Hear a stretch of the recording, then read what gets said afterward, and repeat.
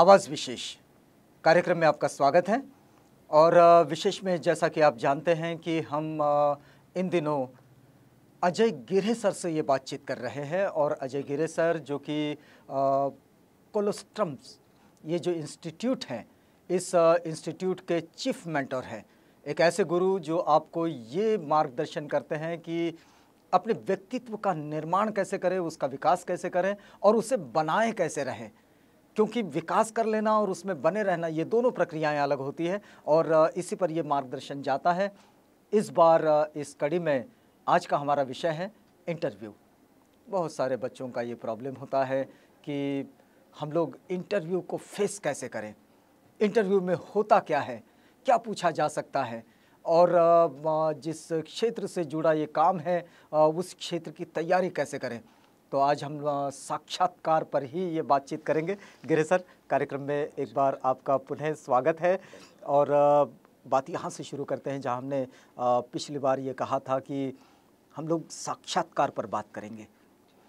क्या होता है ये साक्षात्कार? क्यों आयोजित किए जाते हैं? क्योंकि बच्चों के लिए भी ये होता है कि भाई जब सब लोग अपनी अपनी एग्ज़ाम्स ले रहे हैं सबके अपने अपने सिलेक्शन बोर्ड है और वो लोग एबिलिटी के आधार पर एक बड़ी परीक्षा का आयोजन करते हैं।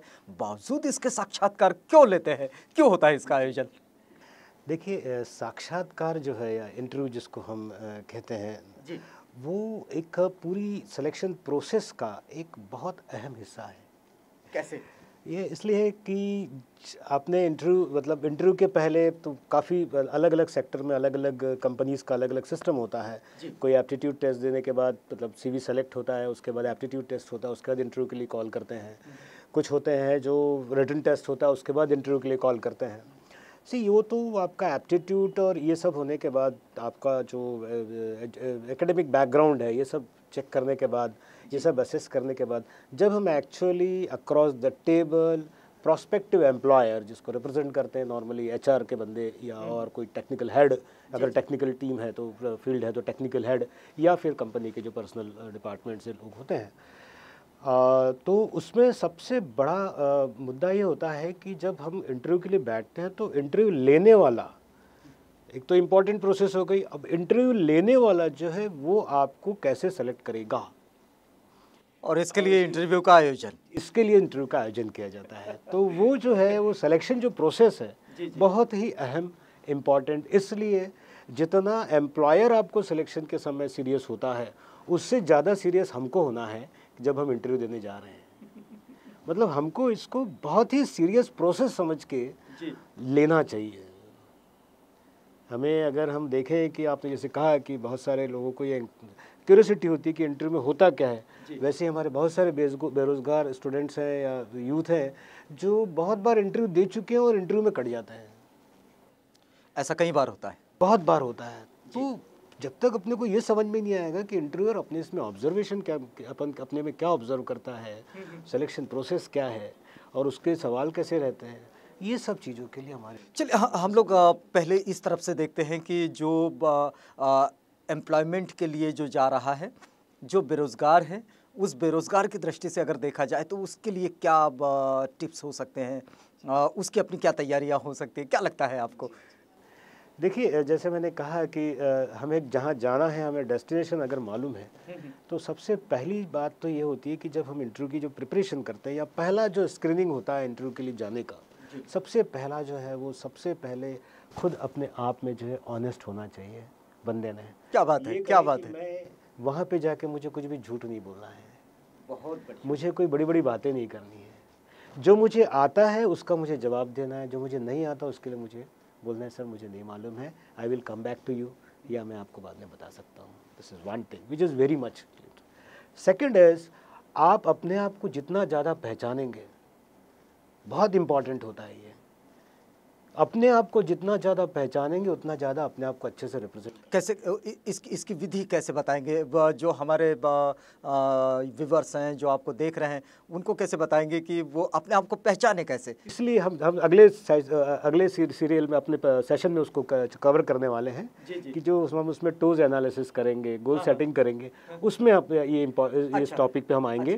तो वो हम अपने अगले एपिसोड के लिए। पर बहुत मुद्दे की बात होती है वो जब तक आप अपने आप को पहचानते नहीं है क्योंकि इंटरव्यूअर जो है वो आप में ही अपना एम्प्लॉय ढूंढता है। आप याद रखिएगा हर एक बंदा सिलेक्टेड है सेलेक्टेबल है।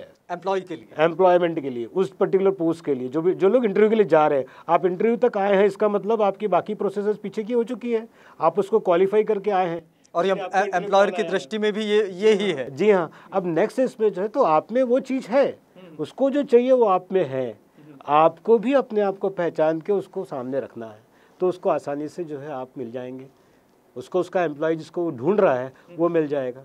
हम लोग बहुत ज़्यादा गलती करते हैं या समझ नहीं पाते हैं, हम अपने आप को नहीं समझ पाते हैं और हम अपने आप के बारे में नहीं एक्सप्लेन नहीं कर पाते हैं। तीसरा इसलिए होता है कि जब अगर पहले हमारा कोई पास्ट एक्सपीरियंस है तो या हमने कुछ काम किया है, जैसे स्टूडेंट्स के लिए अगर उन्होंने कोई प्रोजेक्ट वर्क किया है must know each and everything what how and why पूरा कंप्लीट क्योंकि वो अगर फ्रेशर्स है तो उनसे क्या पूछेगा? वो सुटेबिलिटी तो अपने जॉब के उसने निकाला पहले इसलिए आपको इंटरव्यू के लिए बैठाया।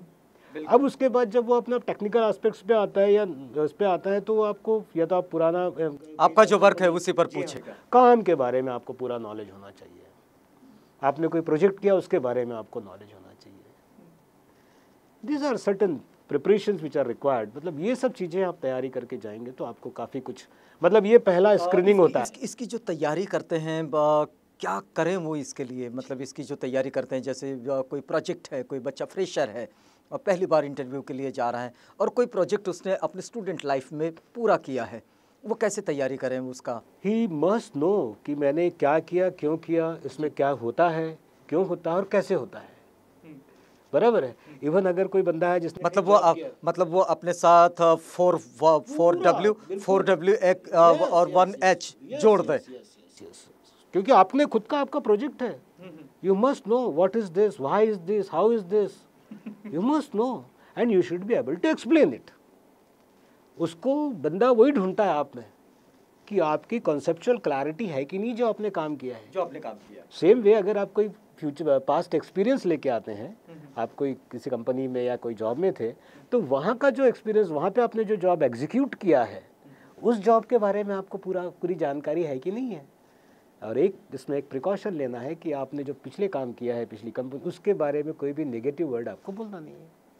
This also counts as in your attitude towards तो ये सब चीज़ों का अपने जो ये पहला स्क्रीनिंग होता है ये।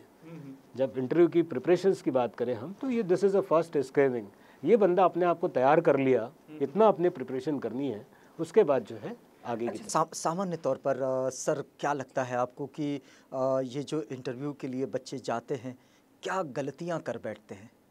सामान्य तौर पर। जी हाँ सर बहुत अच्छा क्वेश्चन आपने पूछा है। देखिए कैसा होता है कि जब हम इंटरव्यू के लिए जाते हैं जी। तो जैसे हमने कल ही अगले पिछले एपिसोड में जब हमने कहा था कि कम्युनिकेशन क्या है? हम्म, हम्म। तो कम्युनिकेशन हर चीज़ है। आपका existence in the universe it's itself is part of a communication बिल्कुल। आपका चेहरा मोहरा body language non verbal communication के इसमें आता है। तो जैसे ही आपने पहला जो अगर अपना जो कम्युनिकेशन जो मतलब आपका सीवी जाता है आपका इंटरव्यू के लिए कॉल आती है आपको आपका कोई टेलीफोनिक कन्वर्सेशन होता है that is also part of interview it ना उसके बाद जब हम इस पर आगे आते हैं जी। तो जब बंदा प्रिकॉशंस लेना चाहिए उसको जो इन सब चीज़ों के लिए सबसे पहला ये है कि अपनी बॉडी लैंग्वेज उसका पैशन पैशनेट दिखना चाहिए काम के लिए जिस काम को अप्लाई किया उसके लिए क्लैरिटी दिखनी चाहिए। उसके बारे में उसको नॉलेज होना चाहिए। तो ये सारी चीज़ें ऑब्ज़र्व कर दिया ऑब्जर्वेशन रिसेप्शनिस्ट पे अगर जाके मिलता है बंदा तो रिसेप्शनिस्ट पे उसका बॉडी लैंग्वेज कैसा होना चाहिए?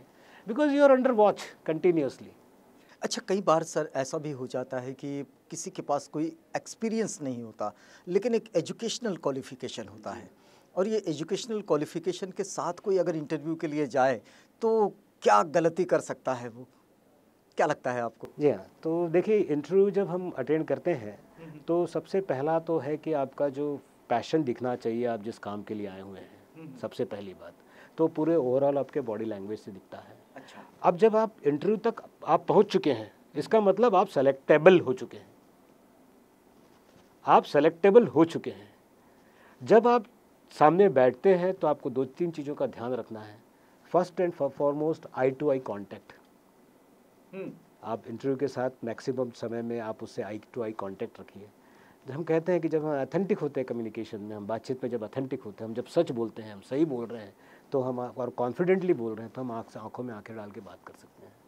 सो दिस इज़ वेरी वरना आँखें झुक जाती है इधर उधर मुड़ जाती है। जी जी। तो eye to eye contact is most important you should look very firm and confident अब जहाँ तक ये प्रिपरेशन का पार्ट है कि उसके लिए कैसे प्रिपरेशन करना वो अपन उस पर जो है अगर मैं डिटेल में जाऊँ थोड़ा सा अगर मुझे आप समय दें तो मैं कहना चाहूँगा कि जब हम कंपनी के, के या किसी भी जॉब के इंटरव्यू के लिए जाते हैं तो हमें पूरा कंपनी के बारे में पहले तो इस इंडस्ट्री के बारे में हम बैठ के पहले होमवर्क कर रहे हैं। जहाँ हम लोग जा रहे हैं। जी हाँ। हम कहाँ जा रहे हैं इंटरव्यू के लिए? कौन सा कंपनी का हमको कॉल आया हुआ है? हम पहले बैठ के उस उस, उस इंडस्ट्री के बारे में और उस पर्टिकुलर कंपनी के बारे में हम पूरा इन डेप्थ रिसर्च करें। दो घंटा दे दीजिए आप। नेट पे बैठिए आपको सारी चीज़ें मिल जाएँगी। कंपनी के वेबसाइट पे जाइए उस इंडस्ट्रीज़ के बारे में डिटेल निकालिए कंपनी का वेबसाइट पे जाइए। हर एक के जॉब नाम्स उसमें रखे लिखे रहते हैं बहुत सारे इसमें। पोजीशन अगर उसमें लिखे तो उसमें जॉब डिस्क्रिप्शन जॉब रोल उसमें लिखा है उसमें नेचर लिखा होगा पूरा उसमें नेचर जो जी हाँ जी हाँ पूरा उसमें डिटेल्स रहती हैं। आप वो ले लीजिए। सोशल साइट पर जाइए फेसबुक के उसके पेज पर जाइए। वहाँ पर आपको बहुत सारी एक्टिविटीज़ उनकी मिल जाएँगी। अगर लिंकडिन में उनका कोई कनेक्शन आपको मिलता है कोई person who is working in that contact be in touch with him take more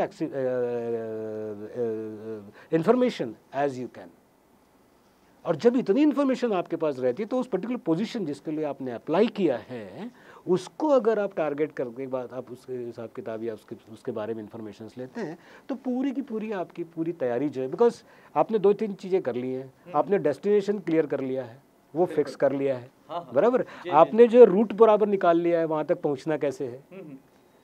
clear हम्म, हम्म। है? तो जब आप इतना जब जाते हैं तो नेचुरली आप being a fresher even you are confident enough you know what is the role how it is to be performed तो आप बाकी आपका जो कॉम्पिटिटर्स है उससे आप एक कदम आगे रहते हैं अगर आप ये पूरा रिसर्च करके जाते हैं। फिर आप देखिए जब आप बैठेंगे आप जब सेकंड करेंगे या आपको वेलकम करेंगे आपका पोस्चर बॉडी लैंग्वेज पूरा चेंज मिलेगा। Because you know where you are landing मतलब आप पूरी तरह से तैयार पूरी तरह से तैयार हैं आप।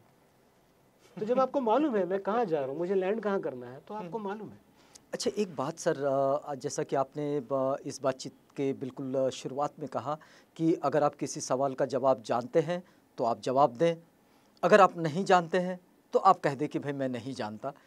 लेकिन एक बात इसमें होता क्या है कि जो जवाब देने वाले जो लोग होते हैं उनमें दो तरह के जवाब देने की पद्धतियाँ होती हैं।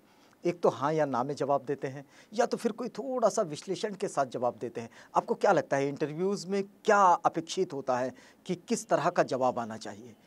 जी हाँ। देखिए सर इसके लिए सबसे ज़्यादा इंपॉर्टेंट होता है while during interview you should be a good listener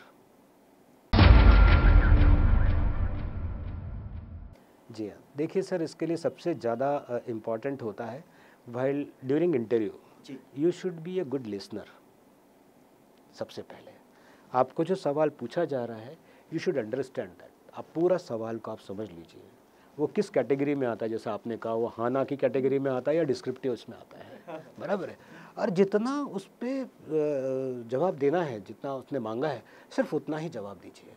उससे ज़्यादा देने ज़्यादा। नहीं तो प्रिकॉशंस में एक और चीज़ आती है कि you should not talk much so let him ask another question for that stuff what you have अच्छा कई बार ऐसा हो जाता है कि ये जो इंटरव्यू देने के लिए जो छात्र जाते हैं या फिर ये जो उम्मीदवार जो जाते हैं कैंडिडेट्स जाते हैं ये कभी कभी इंटरव्यू लेने वाले से भी कोई सवाल पूछ बैठते हैं।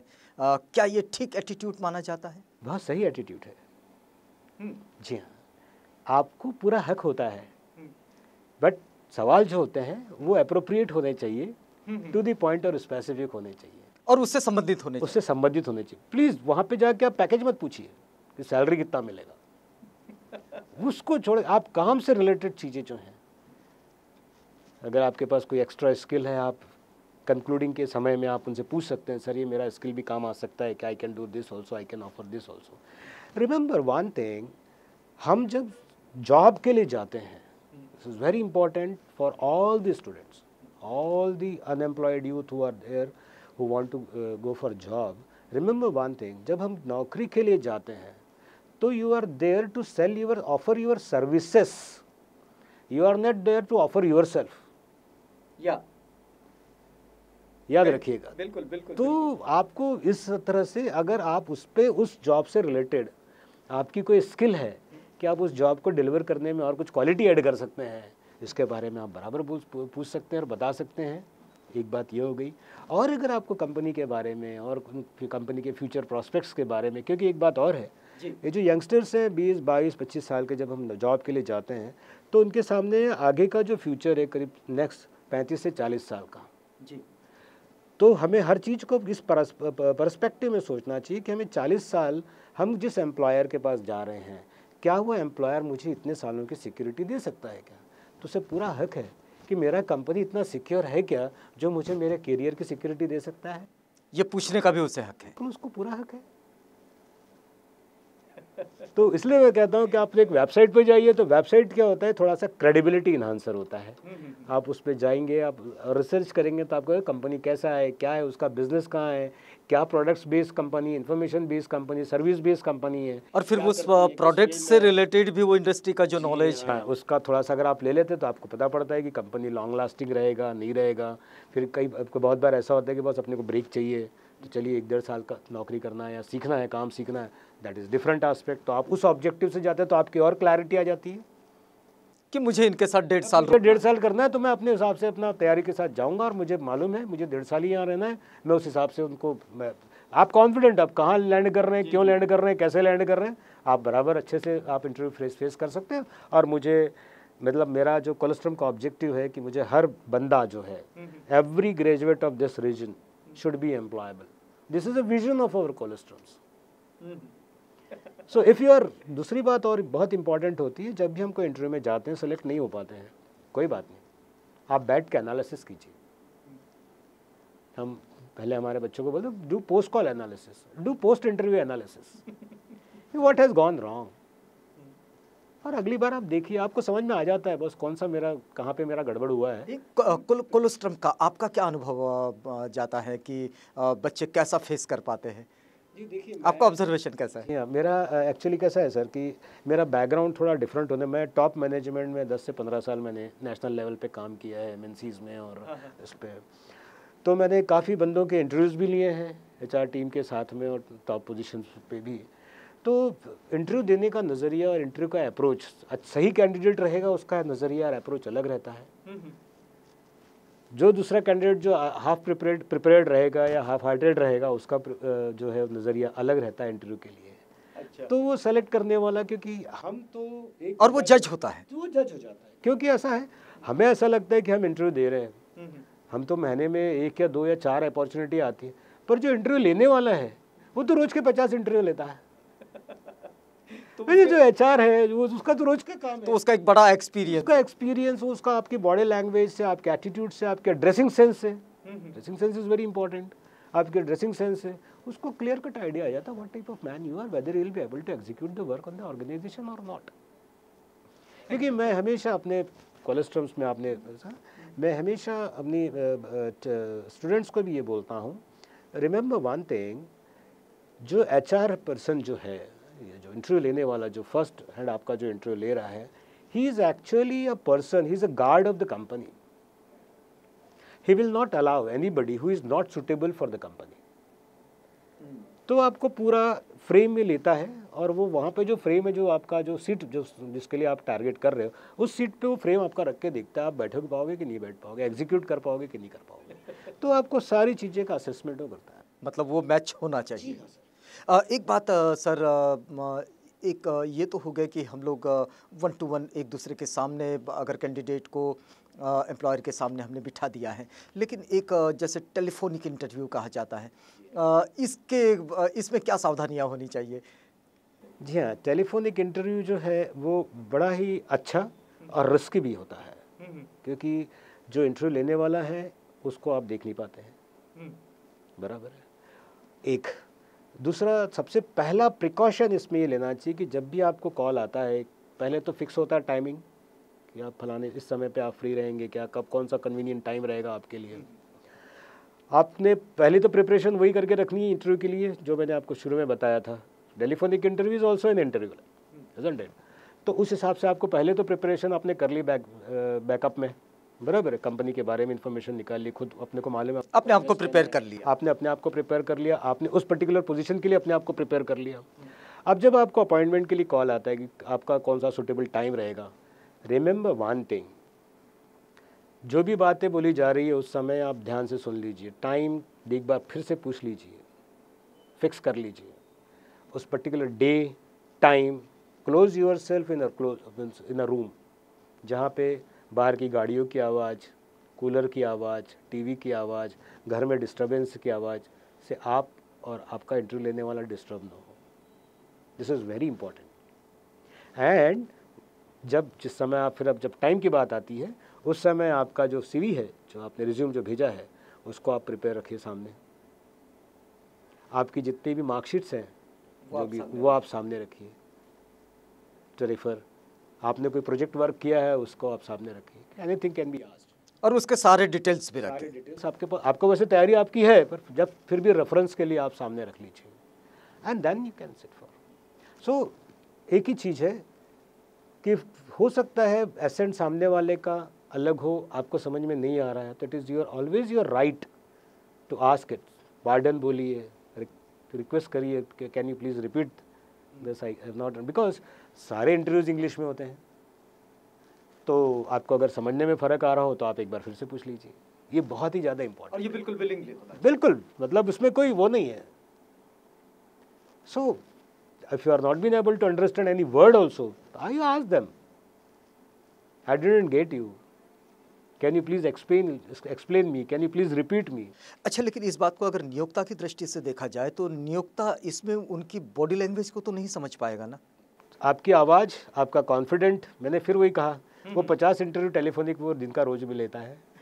तो ये अंडरस्टैंड्स ये अंडरस्टैंड्स ये आपको आपको कोई चीज़ मालूम है यू आर कॉन्फिडेंट तो आपकी आवाज़ अलग रहती है और जब आपको नहीं मालूम है तो आपकी आवाज़ अलग रहती है। अगर आप सीरियस हैं तो आपकी आवाज़ अलग रहती है अगर आप कैजुअल हैं तो आपकी आवाज़ अलग रहती है। अच्छा लेकिन इसमें जो भाषाओं का जो व्याकरणीय जो आकलन है वो या फिर भाषा का जो कम्युनिकेशन है वो ये ये ये जो स्किल्स होते हैं ये स्किल्स इस पर्टिकुलर इंटरव्यू में कितना काम आते हैं? देखिए वैसे तो बहुत काम आता है लेकिन अगर नहीं है तो कोई प्रॉब्लम वाली बात नहीं है। अच्छा। बिल्कुल नहीं है। सी मैंने कल भी मतलब पिछले एपिसोड में भी कहा था कि English not is our it is not our mother tongue तो अंग्रेज़ी भाषा से हमको डरने की घबराने की बिल्कुल ज़रूरत नहीं है। थोड़ी गलतियाँ हो सकती है हो। सकती है। आपका इंटेंट आपका कंटेंशन सामने वाले तक पहुँचना चाहिए। आपको आपने आई एम की जगह आई वाज बोल दिया या आई एम की जगह एच बोल दिया हैज़ बोल दिया नो इशू नो इशू उससे कोई फ़र्क कोई फ़र्क नहीं। जनरली uh, आपने तो uh, मतलब कई इंटरव्यूज़ आपने लिए हैं। अभी तो आप बच्चों को तैयार करते हैं कैंडिडेट्स को तैयार करते हैं कोलेस्ट्रॉम के द्वारा लेकिन इस इंटरव्यू के दरमियान जो नियोक्ता होता है जो एम्प्लॉयर है वो क्या देखता है उस कैंडिडेट में? जी। ये बहुत ही इम्पोर्टेंट सवाल आपने किया सर। क्योंकि ये बहुत ही इंपॉर्टेंट है और मेरा कोलेस्ट्रम का हमारा विजन भी और मिशन यही है कि अगर हम आपको पता रहे कि आपको, आप में क्या ऑब्ज़र्व किया जा रहा है, हमारे पास सारा जो प्रिपरेशन है वो एम्प्लॉयर के प्रोस्पेक्टिव में तैयार किया गया, पूरा करिकुलम जो है। तो हमें जब ये मालूम हो कि हम कहाँ जा रहे हैं तो एम्प्लॉयर भी बैठा हुआ है कि उसको क्या कैंडिडेट चाहिए। तो कंपनी का कल्चर होता है कंपनी का जो काम होता है, जो वर्क प्लेस है, उसमें ग्रुप होता है टीम होती है। तो टीम की सुटेबिलिटी ऑब्ज़र्व करता है आपने। आपका बिहेवियर जो है वो टीम में बराबर होगा कि नहीं होगा, वो ऑब्ज़र्व करता है। आपका बॉडी लैंग्वेज आपका एटीट्यूड चेक करता है। वो जब आपने एप्टीट्यूड टेस्ट दिया, उसमें सारे बिहेवियरल क्वेश्चंस होते हैं, बहुत सारे उसमें प्रॉब्लम सॉल्विंग से लेके सारी चीज़ें एप्टीट्यूड टेस्ट में होती हैं। वो सारे चीज़ों के स्कोरिंग के और मार्क्स आपके सामने, उसके सामने रहते हैं। तो वो आपका हर स्टेज में सुटेबिलिटी जो है वो दिखता है। वो असेस करता जाता है तो उसके पास जो क्वेश्चन बने रहते हैं, वो आपके, आप ट्रेनेबल हो कि नहीं है, वो आपको उसको ट्रेनेबिलिटी के अलग क्वेश्चन होते हैं।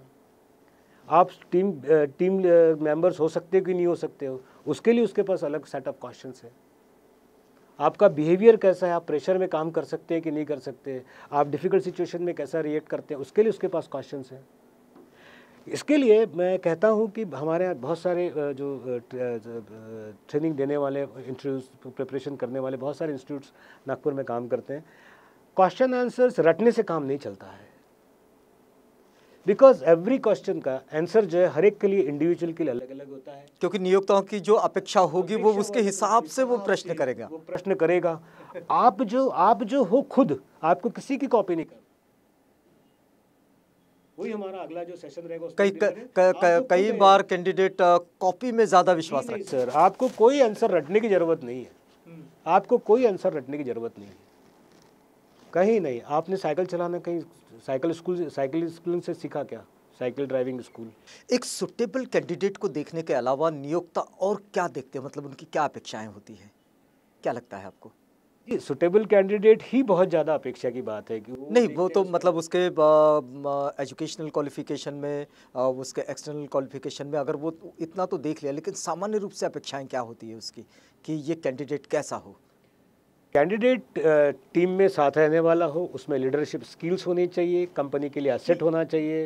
ये एक बहुत महत्वपूर्ण बात है लीडरशिप स्किल लीडरशिप स्किल जो है वो दिख जाती है बंदे में।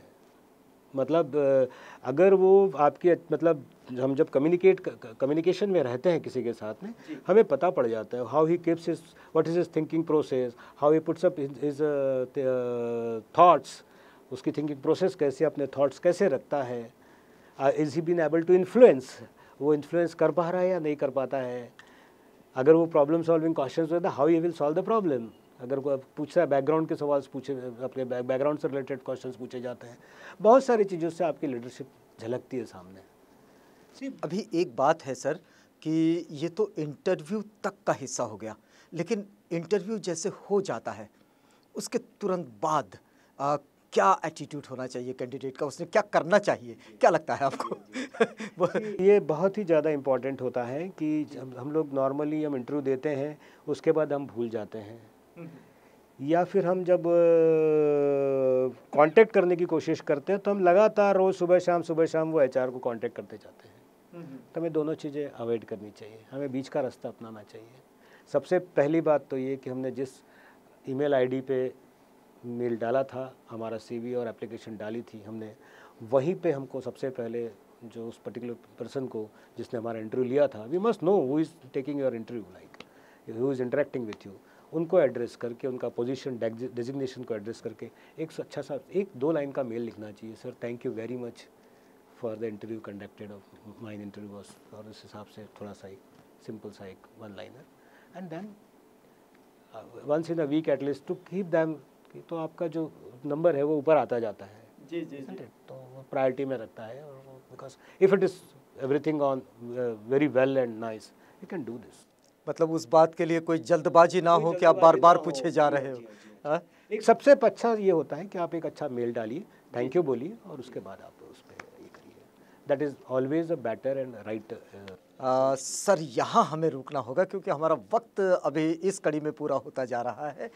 मित्रों इस समय हम लोग अजय गिरे सर से बात कर रहे हैं कोलेस्ट्रम के जो चिप मेंटर हैं। और ये पूरा का पूरा एपिसोड हमने आज डेडिकेटेड किया था इस बात के लिए कि इंटरव्यू की तैयारी कैसे की जाए। इंटरव्यू में सामान्य रूप से होता क्या है और हमारे जो नियोक्ता होते हैं, उनकी अपेक्षाएँ क्या होती हैं। यहाँ पर रुकते हैं, लेकिन ये इस कड़ी में इस पर्सनालिटी बिल्डिंग और करियर बिल्डिंग का ये जो श्रृंखला चल रही है, इस श्रृंखला में अजय गिरे सर से और भी बातचीत करेंगे। अगली कड़ी में आपसे ज़रूर मिलेंगे। तब तक के हमें इजाज़त दीजिएगा लेकिन आप बने रहिए आवाज़ इंडिया के साथ। प्रोग्राम आगे भी जारी है।